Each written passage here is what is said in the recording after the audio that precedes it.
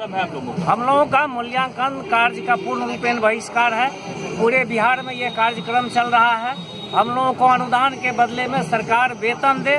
मुख्यमंत्री जो हाउस में अपना स्टेटमेंट दिए हैं कि किसी भी महाविद्यालय को सरकारीकरण नहीं किया जाएगा, ये वापस ले।